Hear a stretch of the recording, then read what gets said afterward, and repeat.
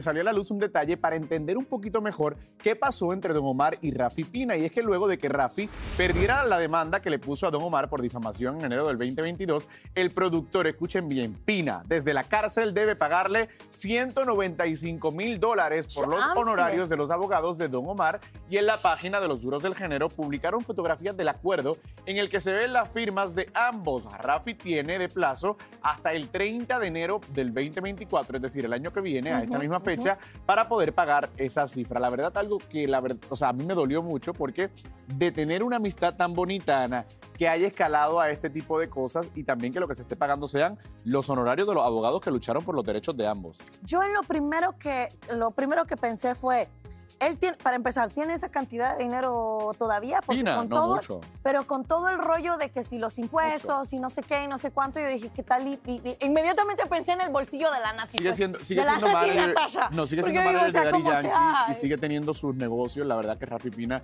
tiene muchos negocios en Puerto Rico, eh, di- eh, ¿cómo se- eh, casas disqueras. Sí, sí, Entonces, sí, si él sí. sigue, obviamente, desde la cárcel, pero haciendo su dinero. Sigue facturando como su dice facturando como la Shakira, pero desde la cárcel en este caso. Bueno, qué tristeza que desde la cárcel, pero bueno, que le pague y qué bien por Don Omar, porque las cosas... Una semana al principio cuando- sí, de buenas noticias y después de malas con esta. Exacto. Cuando las cosas quedan claras, mejor.